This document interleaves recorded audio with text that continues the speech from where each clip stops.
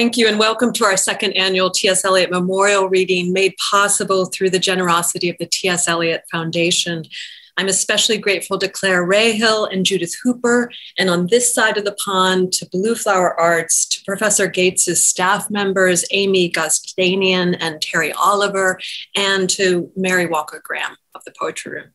I'm going to begin with some brief opening remarks to allow some more people to enter the Zoom room, and then I'll hand the virtual mic over to Professor Henry Louis Gates Jr., who has so kindly agreed to provide an introduction to Claudia Rankine tonight.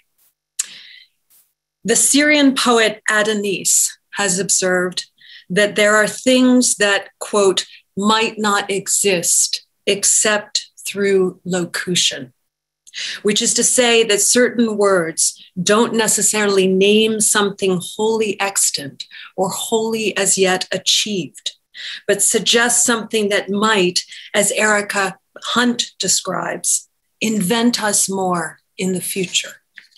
Or, as Audre Lorde has written, poetry is a vital necessity of our existence within which we predicate our hopes and dreams toward survival and change. First made into language, then into idea, and then into more tangible action until the landscape of our words, as Edouard Glissant writes, becomes the landscape of our world. In Claudia Rankine's latest book, the word that is trying to become world is justice. And also, as she so powerfully and poignantly reveals, it is us. When talking about what happens to us, who is us? What us? She cites a friend as saying. By putting the words just and us side by side instead of fusing them into justice, Rankine is creating what one poet has called a language, as in a wedge, a space, a breath, storing up that interval in which, through which to forge a conversation. Conversation being something Rankine has come to define as an attempt to stand in relation, to testify with our bodies and say at once, I'm here and here. A venturing of one's hand or one's being into that space toward what Fred Moten has called a grounded differing. Tonight's event is itself such a space, and I cannot think of anyone more capable of helping us to stand in relation than Professor Henry Louis Gates Jr director of the Hutchins Center for African and African American Research, and the Alphonse Fletcher University professor at Harvard. In addition to having authored or co authored more than 20 books and creating 20 documentaries, you may also know him as the host of PBS's award winning program, Finding Your Roots. What his title and resume might not tell you is that in addition to his scholarly, civic, and artistic works, he has also been instrumental in his efforts to help build the collections of Harvard of which the Poetry Room is a small part. Through both his personal dona- donations, most recently of Harriet E. Wilson's groundbreaking novel, and through funds raised through the Hutchins Center, he has helped to acquire and provide access to the papers of Nobel laureate Wole Soyinka, novelist Chinua Achebe and John Edgar Wideman, and poet June Jordan, to name just a few please join me in welcoming the one and only Professor Henry Louis Gates Jr., who will introduce our honored guests this evening. My goodness, Christina, thank you. That was amazing. Um, I, I, not my part, but the part about Claudia, that was fantastic. Everybody, round of applause for Christina, please.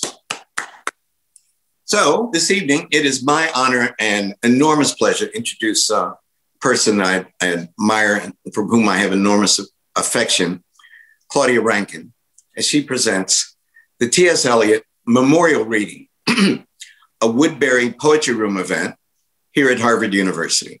Currently, the Frederick Iseman Professor of Poetry at Yale and the departments of African American Studies and English. Rankine has had a long and distinguished career as a poet, playwright, essayist, and educator. Born in Kingston, JA, that's Jamaica. Rankine immigrated to the United States as a child and received her BA from Williams and her MFA from Columbia. The poet's first collection of verse, a title I love, Nothing in Nature is Private, published in 1994, won the Cleveland State Poetry Prize, the first of many accolades and awards that her work would garner. Since then, she's published five more books of poetry, and her 2014 publication, Citizen, an American lyric, won both the PEN Open Book Award as well as the PEN Literary Award, the NAACP Image Award, and the National Book Critics Circle Award for Poetry. Further, Citizen holds the unique position of being the only book of poetry in history to be a New York Times bestseller in the nonfiction category. I love that. Just as her brilliant poetry moves easily among genres, her writing encompasses um, several, including three plays. Help premiered in March 2002 at the Shed in New York City, and in a joint production by Arts Emerson and our own American Repertory Theater, Rankine's play White Card, which I actually saw, and enjoyed enormously, was staged in 2018. As well as her three plays, Rankine has co edited several anthologies, including American Women Poets in the 21st Century, where lyric meets language in 2002, and The Racial Imaginary, Writers on Race and the Life of the Mind, published in 2015. And of course, her own poems have been included in numerous anthologies, including Great American Prose Poems from Poe to the present. She's also been part of numerous video collaborations. In 2016, Rankine co founded the Racial Imaginary Institute, supported in part by proceeds from her 2016 MacArthur Grant. As well as the MacArthur Fellowship Genius Grant, Rankine is the recipient of a 2017 Guggenheim Fellowship, the Bobbitt National Prize for Poetry, and the Poets and Writers Jackson Poetry Prize. In addition, she's been awarded fellowships and prizes from the American from the Academy of American Poetry, the Lannan Foundation, and the National Endowments of the National Endowment of the Arts, among many, many others. Please welcome Claudia Rankine as she reads from her most recent publication, a brilliant publication called Just Us, an American conversation. Thank you.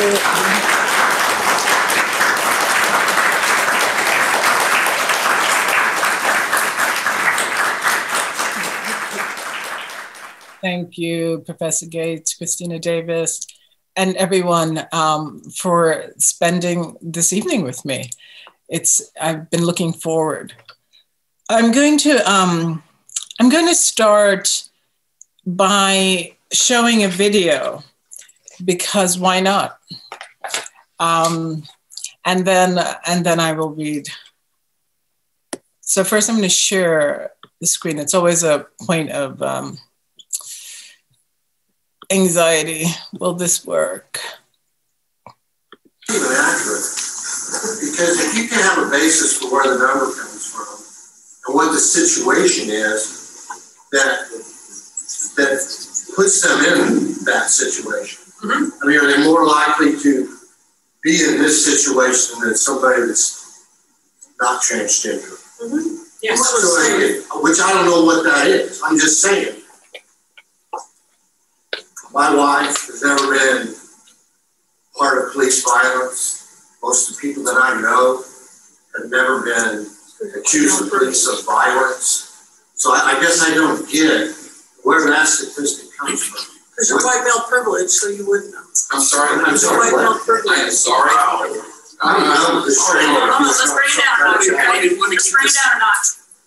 Let me keep it safe and professional. Uh, that's it's not. That's my role in projecting. So I don't want to focus on the statistics, Chief, because quite frankly, get away with that. No. Seriously, I'm asking a legitimate question. Let me help you. And I'll get taught white privilege? Are you serious? I find that extremely offensive. Okay. And, and I'm in here like as professional as I can, got a gentleman And more. trying to talk. Please. Sit down. All right, hold on a second. No, I will leave. I will file it on your desk. We're not talking about white privilege here. I'm trying to focus on a different demographic. I'm going to keep this professional, and I apologize if anybody is offended. This data that we have here, the Okay. So when the um, the white woman who told the police officer she was also a police officer that he couldn't understand um, why transgender people were um, targeted by the police. Um, and she said, You can't understand because of your white male privilege. That woman was put on leave um, and um, given um, the position of no longer having any contact with anyone in the police force. So that's how she was to um, live out her time in the police force because she because she was a bad influence, basically. So, and he, the man who said, um, who brought the charges against her for saying white male privilege, um, nothing happened to him. So that's that's the state of discourse in um, 2019. I don't know if um, things would have changed by now, but I wanted to begin with a quote by Paul Celan. He he says, "What times are these when a conversation is almost a crime because it includes so much made explicit? What times are these when a conversation is almost a crime?" And with that, I will start reading initially the opening poem from Just Us. What does it mean to want an age old call for change, not to change? And yet also to feel bullied by the call to change? How is a call to change named shame, named penance, named chastisement? How does one say, what if, without reproach? The root of chastise is to make pure. The impos- impossibility of that. Is that what repels and not the call for change? What if over tea? What if on our walks? What if in the long yarn of the fog? What if in the long middle of the wait? What if in the passage, in the what if that carries us each day into seasons? What if in the renewed resilience? What if in the endlessness? What if in a lifetime of conversations? What if in the clarity of consciousness? What if nothing changes? What if you are responsible to saving more than to changing? What if you're the destruction coursing beneath your language of savior? Is that too not fucked up? You say, if other white people had not, or if it seemed like not enough, I would have. What if the repetitive call of what if is only considered repetitive when what if leaves my lips? When what if is uttered by the unheard?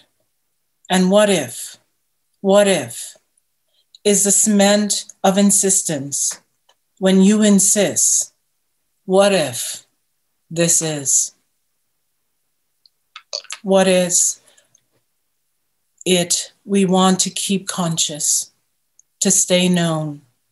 Even as we say, even in our own way, I so love, I know, I shrink, I mask, I'm also, I react, I smell, I feel, I think, I've been told, I remember, I see, I didn't, I thought, I felt, I failed. I suspect. I was doing, I'm sure. I read, I needed, I wouldn't, I was, I should have, I felt. I could have, I never, I'm sure, I ask. You say, and I say, but what is it we are telling? What is it we are wanting to know about here? What if what I want from you is new, newly made, a new sentence in response to all my questions, a swerve in our relation and the words that carry us, the care that carries. I am here without the shrug, attempting to understand how what I want and what I want from you run parallel. Justice and the openings for just us. I um I wanted to to start many starts. I wanted to start by looking at um, some passages from Thomas Jefferson, um, which is you know from Notes on Virginia, but I in the in Just Us it's called Notes on the State of Whiteness, and I I love Jefferson because of how contradictory he is, how human he is, how capitalist he is, how, um, you know, on the one hand, he knows to enslave people is not a good thing. On the other hand, he wants to have parties and he needs he needs somebody to help him out with that. so um, and he wants to buy wine and he wants to buy paintings and you know he takes out a mortgage and and the enslaved people are part of that mortgage so he cannot he cannot free them. But it doesn't mean he doesn't know. It doesn't mean he doesn't know. Um, so i wanted um, to begin with the section that um, starts their griefs are transient.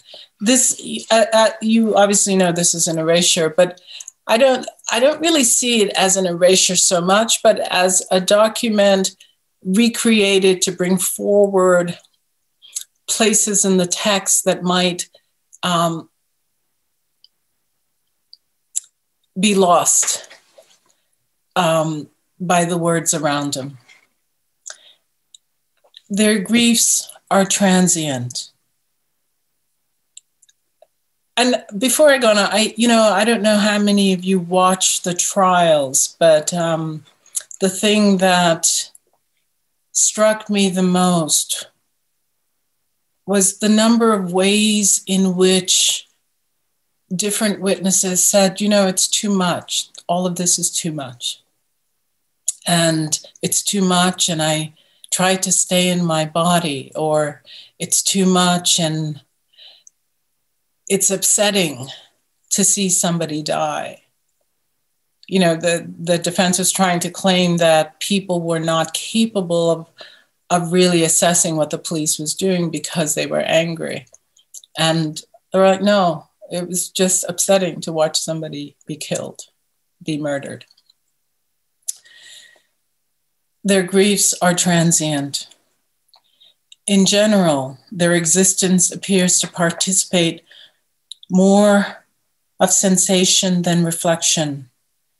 To this, we must ascribe their disposition to sleep when abstracted from their diversions and unemployed in labor. An animal whole body is at rest, and who does not reflect must be disposed to sleep, of course. It appears to me that in memory, they are equal to rights, in reason, much inferior. And I, I, I feel like these thoughts by Jefferson um, are thoughts that the defense actually continued to make in the trial um, by insisting that people don't don't know what they see. They don't know what they see.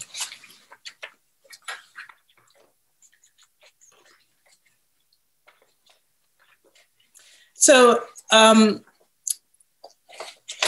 I have on one of the things that I, I did in in this book is not everything is written, but everything is um, forced in one way or another to meet the lyric. And so one of the um, poems in the book, which I'll read, is by James Baldwin from The White Man's Guilt. But it wasn't, you know, it's not a poem. It was just lineated by me into the lyric form. James Baldwin. I have often wondered, and it is not a pleasant wonder, just what white Americans talk about with one another. I wonder this because they do not, after all, seem to find very much to say to me. And I concluded long ago that they found the color of my skin inhibitory. This color seems to operate as a most disagreeable mirror. And a great deal of one's energy is expended in reassuring white Americans that they do not see what they see. This is utterly futile, of course, since they do see what they see. And what they see is an appallingly oppressive and bloody history, known all over the world. What they see is a disastrous, continuing present condition which menaces them and for which they bear an inescapable responsibility. But since, in the main, they seem to lack the energy to change this condition, they would rather not be reminded of it. Does this mean that in their conversations with one another, they merely make reassuring sounds? It scarcely seems possible, and yet, on the other hand, it seems all too likely and I'm going to stop sharing now. But one of the things that has happened this week since, you know, it's only been um, two days since um, Chauvin was convicted, is that I feel like many people, and many of them white people, um, want to put everything to rest with a decision that is, somebody called it an exception to the exceptions. and um, you know, it's it's good that it happened. I'm not I'm not questioning that, but it has nothing to do with the system at large. We had a judge who who claimed that um, Maxine Waters, by calling um, for a response if if justice wasn't served, um, that would give the defense the ability to appeal which they no doubt will appeal. And so, you know, we we can be pleased that something that should have been ordinary happened. But we can't be deluded into thinking that the system itself has been fixed by a single moment, a single exception. I just wanted to say that because because it is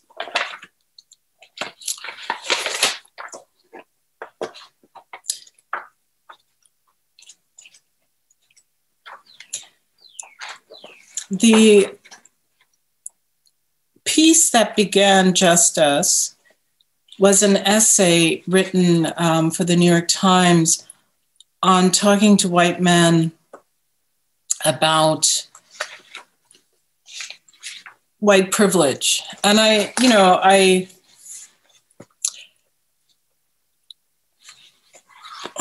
I don't know why I started that, but I, I, I thought it would be interesting to know what they were thinking since they control so much of my life. I mean, you know, the president of the college where I teach, the university where I teach, is a white man. The white man um, who solicit me at the New York Times to work. I mean, all of them good people. I'm not saying anything against them personally, but um, but they they are in some way in charge of my life. If we look to see who's in positions of power across the board, many of them are white men. So I thought, why not ask them about what they were thinking about all that they have?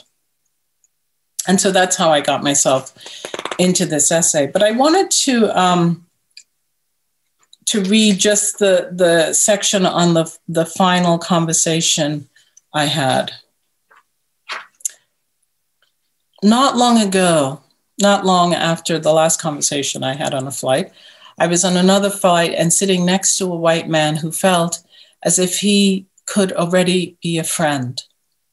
Our conversation had the ease of kicking a ball around on a fall afternoon, or it felt like stepping out the door in late spring when suddenly the temperature inside and out reads the same on your skin. Resistance falls away, your shoulders relax. I was, metaphorically, happily outdoors with this man who was open and curious with a sense of humor he spoke about his wife and sons with palpable affection, and though he was with me on the plane, he was there with them as well. His father was an academic, his mother, a great woman. He asked who my favorite musician was, and I told him the Commodores because of one song, Night Shift, which is basically an elegy. He loved Bruce Springsteen, but Night Shift was also one of his favorite songs. We sang lyrics from Night Shift together. I can still hear him say, Oh, talk to me so you can see what's going on. When he asked if I knew a certain song by Springsteen, I admitted I didn't. I could only think of American Skin, 41 shots, no secret, my friend. You can get killed just for living in your American skin. I knew those lyrics, but I didn't start singing them. I made a mental note to check out the Springsteen song he loved. Eventually, he told me he had been working on diversity inside his company. We still have a long way to go, he said. Then he repeated himself, We still have a long way to go, adding, I don't see color. This is a statement for well meaning white people whose privilege and blind desire catapult them into a time when little black children and little white children are judged not by the color of their skin, but by the content of their character. The phrase, I don't see color, pulled an emergency brake in my brain. Would you be bringing up diversity if you didn't see color? I wondered. Will you tell your wife you had a nice thought, talk with a woman or a black woman? Help. All I could think to say was, Ain't I a black woman? I asked the question slowly as if testing the air quality. Did he get the riff on Sojourner Truth? Or did he think the ungrammatical construction was a sign of Blackness? Or did he think I was mocking white people's understanding of Black intelligence? Aren't you a white man? I then asked. Can't you see that? Because if you can't see race, you can't see racism. I repeated that sentence, which I read not long before in Robin DiAngelo's White Fragility. I get it, he said. His tone was solemn. What other inane things have I said? Only that, I responded. I had refused to let the reality he was insisting on be my reality. And I was pleased that I hadn't lubricated the moment. Pleased I could say no to the silencing mechanisms of manners. Pleased he didn't need to open up a vein of complaint. I was pleased he was not passively bullying. And just like that, I was pleased he could carry the disturbance of my reality. And just like that, we broke open our conversation, random, ordinary, exhausting, and full of longing to exist in some image of less segregated spaces. Not long after this exchange, a man on the flight got in touch with me. He and his wife had read one of my books, and we planned to get together. Our schedules, however, never worked out, and time passed. When I wrote the piece about speaking with white men about their privilege, I sent it to him. I didn't want to publish it without letting him know I had recounted our conversation. I then asked him if he could respond to what I had written. He wrote back When you challenged me on my I don't see color comment, I understood your point, appreciated your candor, thought about it, and realized you were right. I saw your response as one of as an act of both courage and generosity. I've thought a lot about our conversation since that flight. In fact, not long afterwards, I realized I had misrepresented something I'd said to you about my hometown. I don't know why. I certainly hadn't done it intentionally. And I believed I was being honest in the moment. But after our talk, it was evident. I told you I didn't notice much tension between the black kids and the white kids in our town. I grew up and went through the public high school system of a middle class suburb in the Northeast in the 1980s and early 1990s. I guess it's not that I didn't notice it so much as I wanted to forget it, because thinking back, tension was everywhere. I graduated from high school more than 25 years ago, and except for college summers and a few months after graduation, haven't lived there since. Maybe it was such a moment in our lives that I didn't think about it, except for the overtly ugly incidents like the time the white kid who sat in front of me in freshman algebra turned around and asked if I was planning to go to the varsity basketball game that night to watch the racial slur play. I'm assuming it's an N word. I remember only a couple of physical fights during between black kids and white kids, but cruelty from mostly white to black was always only a moment away my home and my family, even my extended family, who were first and second generation from Mid- Mediterranean and Eastern European countries, were the antithesis of that type of behavior. But thinking back, it was all around us. It's interesting that something in our conversation made me realize it. That response that he gave, I mean, you know, the, the part of it that I find the most moving actually is when he said, I realized that I had misrepresented something I'd said to you about my hometown. I don't know why. I certainly hadn't done it intentionally. And I believed I was being honest in the moment. And so, this the way in which um, our white supremacist uh, foundational orientation, acculturation, whatever you want to call it, um, doesn't allow white people even to understand why they do the things they do, to shield themselves from their own um, fantasies. In order not to have to apprehend the realities in front of them. Is, is something that continues um, to interest me in a way, and um, and and sort of was the driving uh, force behind Just Us. I'm going to end by reading a page from the end of the book.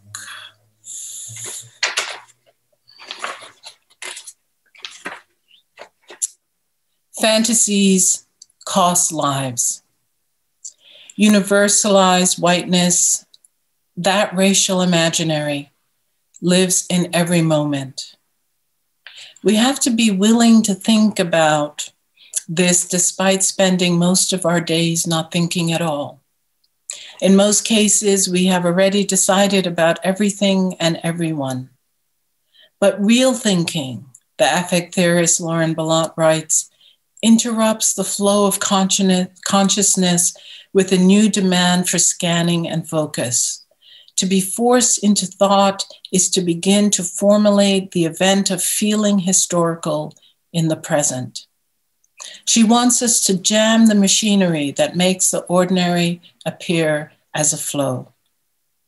Even as we exist as people in relation, people across the table from each other, people talking in a car, on a plane, on the wa- at the water fountain, in detention centers, in prisons, at picnics, at work, next door, on trains, in waiting rooms, in classrooms, at bedsides, in taxis, on the subway, at the store, on the street, in the clinic, at the post office, at the DMV, or on Zoom, social distancing, wherever.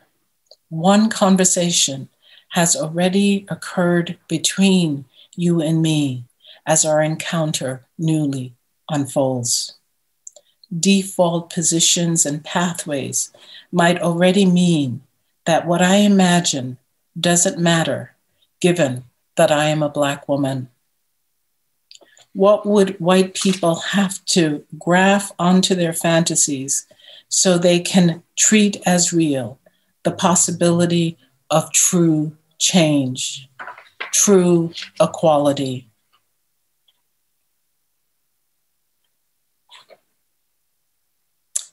Reimagining agency is the conversation I want to have.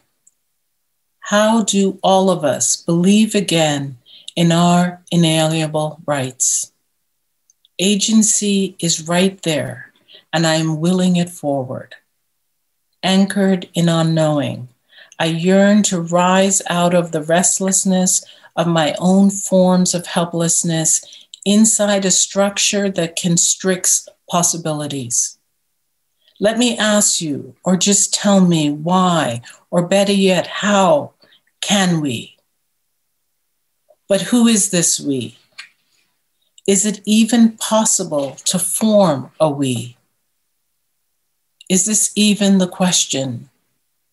E pluribus unum might have been the first national mistake. Is there a one that the rest of us should step out of the way of or map ourselves onto. And once that pledge is made, what are we citizens of? We, the people, are citizens of what? I won't say again the what that gives me pause, but I will quote Fred Moten here.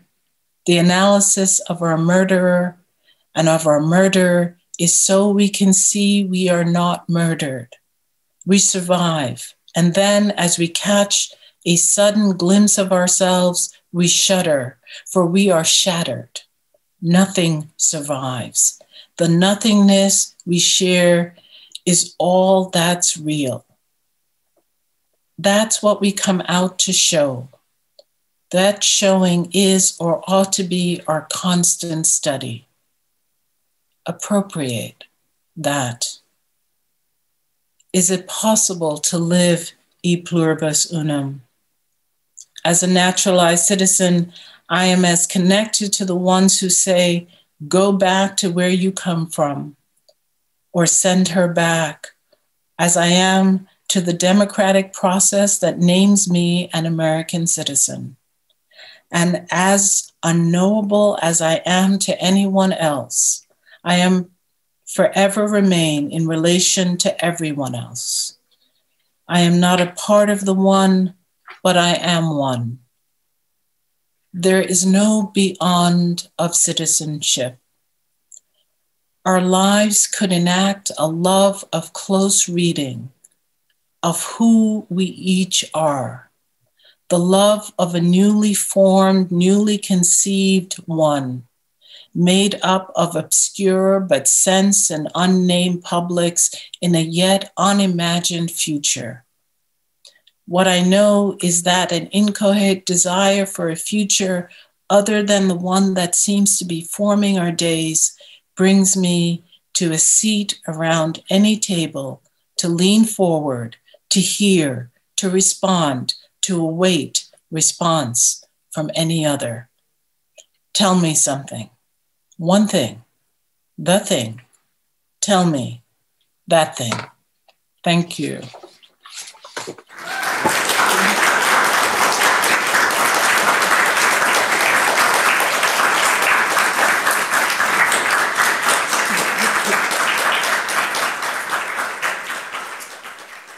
I love the automated clap. it is not automated. It is from the archive, and I think it's a recording of applause from a previous event you did for us, Claudia. oh, that's perfect. So listen, everyone, please unmute your mics and join me in thanking Claudia and sharing your your love and gratitude. And we'll not be having a formal Q and A tonight. And I love that line or any structure that constricts possibility. But uh, we would love to hear how her words resonated with you. Um, so please unmute your mics and say hello. Hey. Thank you. Thank you. Thank you. Beautiful. Thank you. Thank you. Thank you. That was amazing. Thank you so much, Claudia. Thank you. Thank you, Claudia, for being with us. Thank you. Thank you. Thank you. Yes, so amazing. Thank you. Thank you. Thank you. Fine. Incredible. Mr. Gates, too. So glad I could be here. I'm sorry we can't take you to dinner at Benedetto's. I'm in town. I, I would pick the wine. I would pick the wine. Aw. Oh, that's very nice. So same time next year, all right? All right. All right. So we usually close our Zoom events by uh, having our author choose uh, what we call an outro tune. And uh, Claudia, do you want to tell? Oh, maybe we should mute the Minnie Mouse. I want the Commodores. Oh, I, I know now. I would like the Commodores. Uh, I think we can cue that up second. Um, but do you want to tell us why you chose uh, what you chose? Well, I chose Leonard Cohen um, because actually, Skip, you'll you'll recognize it. It was the final song in um, the White Card, and it, it's Yes, I do. a conversation, which I, I think maps onto just us in a nice way. So we invite everyone to groove to it, to listen, and then sign off at any point in the song. Thank you all so much for coming.